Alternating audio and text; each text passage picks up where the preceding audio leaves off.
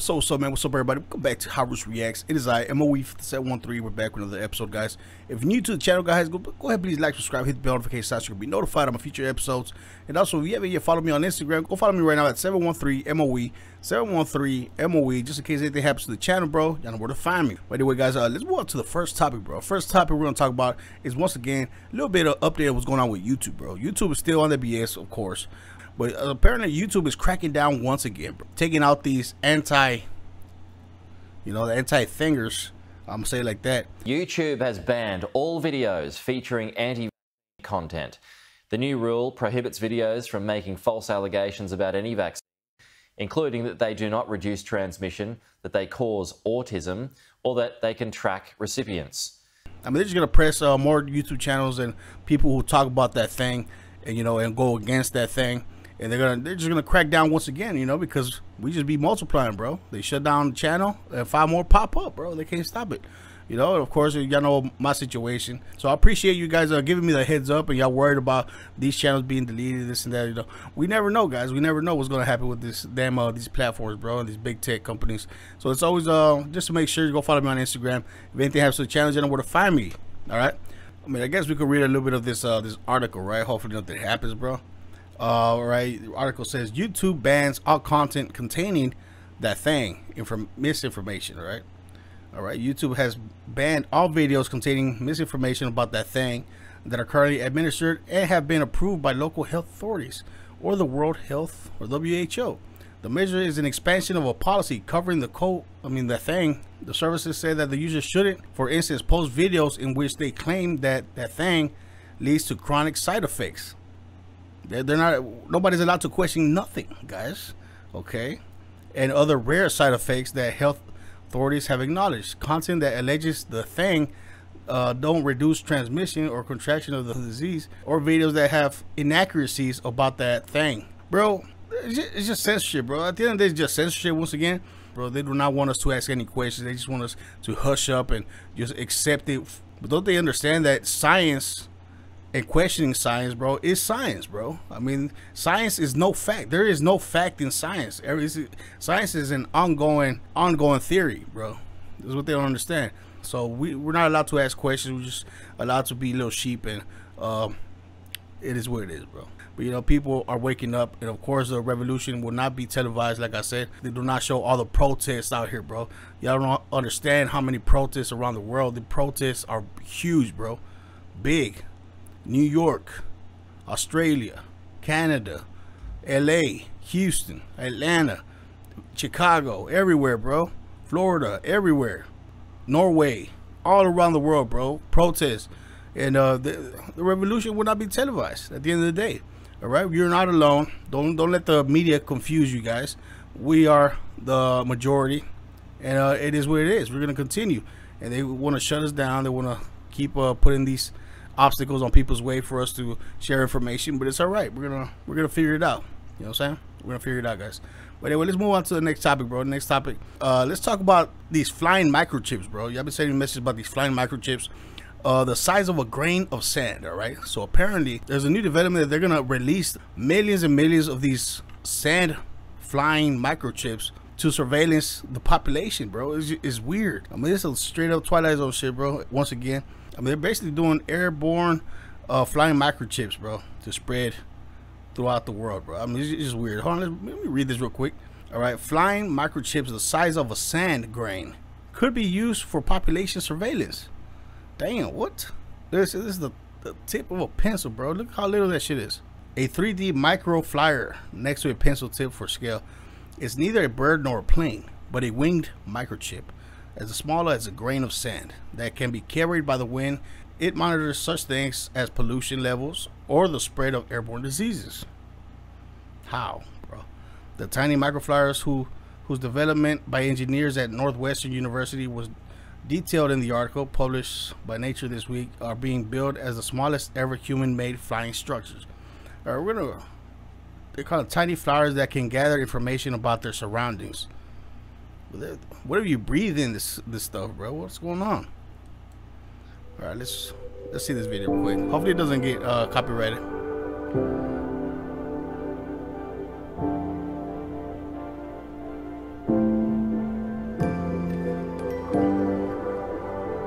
Nature has designed seeds to have sophisticated arrow, and that has the effect of increasing the dispersal distance from the tree. And that's the name of the game, is spreading the seeds as far as possible.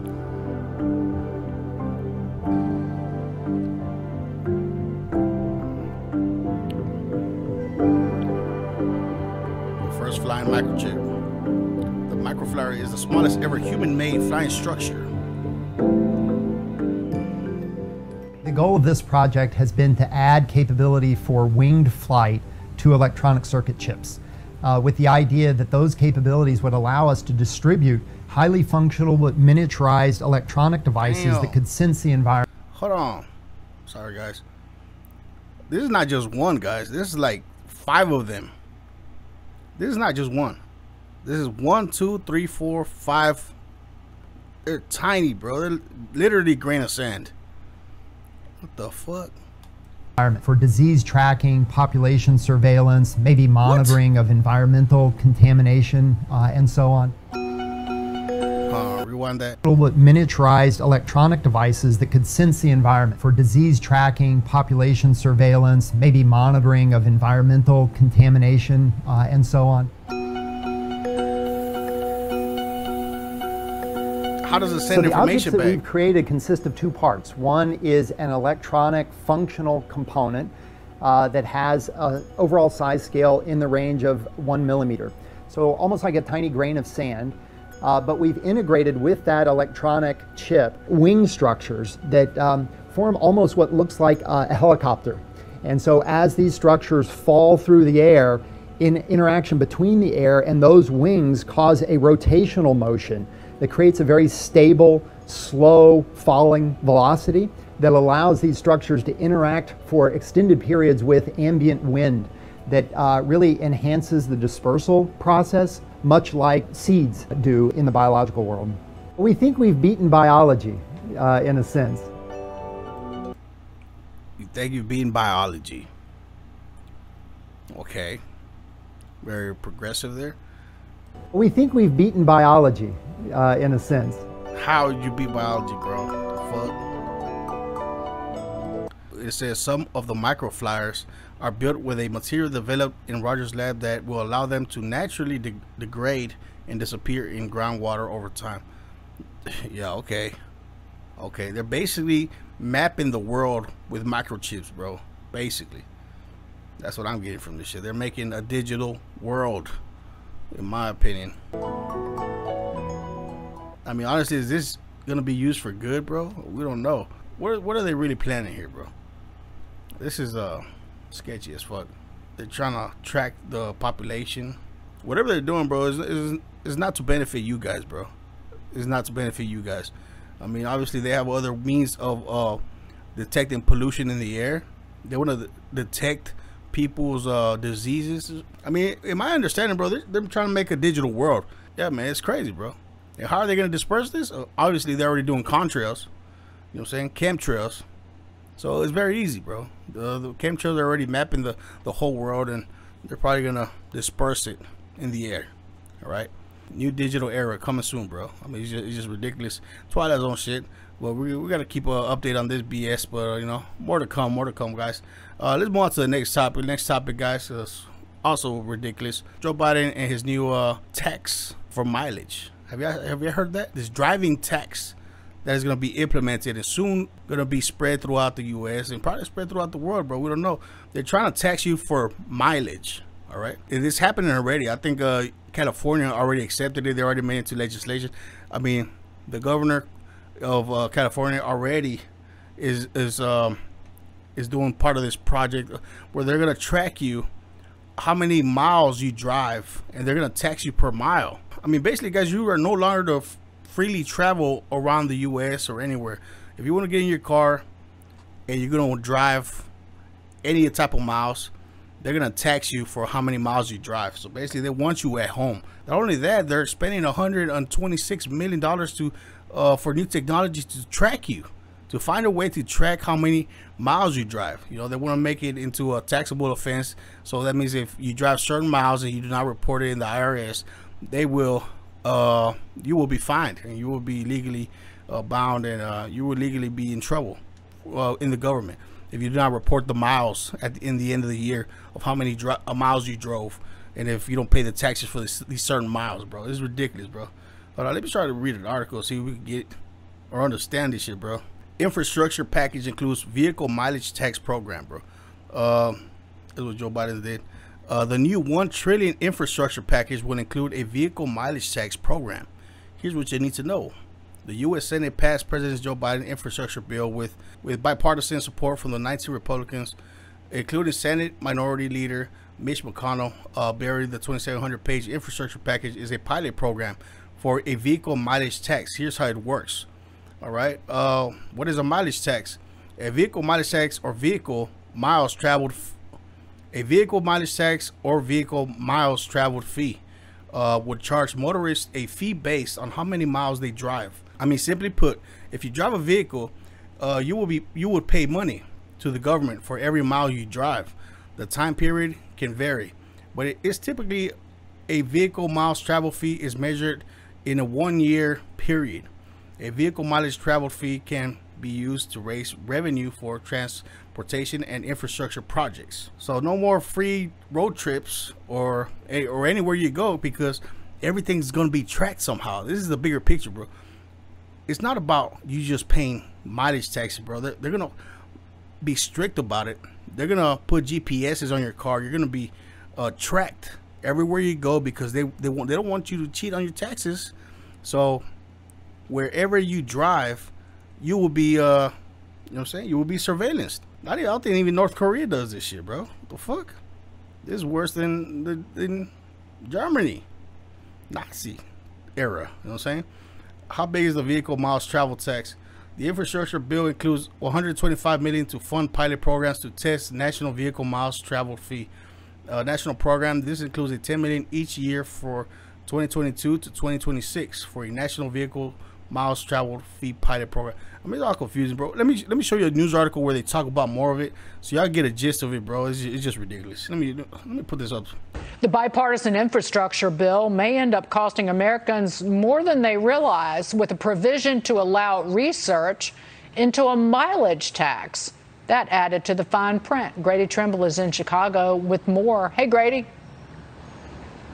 Hey, Dagen, the bill would set aside about $125 million to look into the feasibility of a mileage tax at the local, state, and federal level. It's unclear if this would be in addition to or a replacement for the gas tax, which in states like Illinois, Pennsylvania, and California are already among the highest in the country. And we talked to the folks at the National Motorists Association. They say they strongly oppose this for a number of reasons, and they raise a lot of questions as well. They say that it's a, essentially a way for the government to get Americans to stop driving cars or at least to drive them less. It also raises privacy concerns. How do you track the miles that people drive? And they point out if there's a gas tax along with multiple mileage taxes at the federal and state levels, that would be a huge burden on lower and middle class Americans. What the fuck is going on, bro? A lot of distraction, bro. But you see how everybody's distracted with a lot of bullshit, and now they're passing these laws, bro, to take your freedoms away, bro. I mean, how ridiculous is that? You can't go nowhere, go to the grocery store, go visit your family members across town without you being taxed and and tracked. Because you're being tracked everywhere you go now because of this tax fee. This fucking this world government bro is, is gonna say and talk about the new world order. You think we you think it's still a conspiracy theory bro? What the fuck is going on I mean, guys, go, go look into this more, bro. Go look into this more. I mean, it's just crazy, bro. This is just insane. I know you're wondering, you're baffled, and you're like, what the fuck is going on? But guys, we are the majority right now, all right? Don't don't get it twisted up. Even though this big TA, they're trying to shut us down. Even though they probably shut down my channels eventually, you know, maybe one day you'll just you won't find me no more, bro. It's just the reality of it. I mean, just know that, guys, that you're not alone, bro. We are the majority. Like I said once again, the the revolution will not be televised. All right, they will not let uh they will not allow you to empower yourself anymore. They're gonna try to track everywhere you go. You know, they're gonna try to force this thing on you. I mean, just one more topic.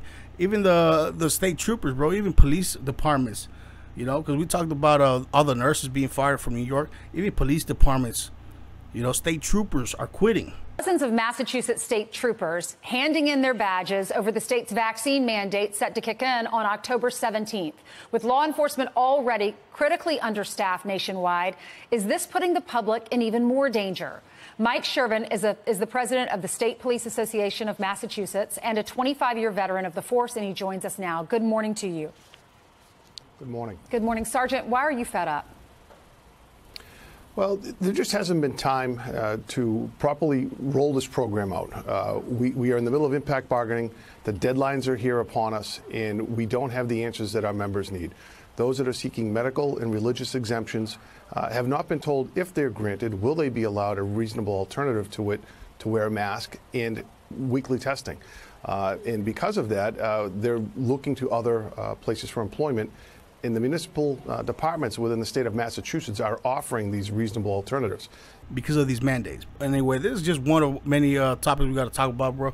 But anyway, this is just it for today, bro. Hope you enjoyed the video. Hope y'all got something out of it, and you know, just keep on, just keep on fighting, bro. But anyway, uh, thank you for watching. This is MOE 713. I'm gonna see you on the next episode. And also, uh, if you haven't yet followed me on Instagram, go follow me right now. 713 MOE. Uh, very much appreciated. Yeah, but I'll see you on the next one, bro. Bam.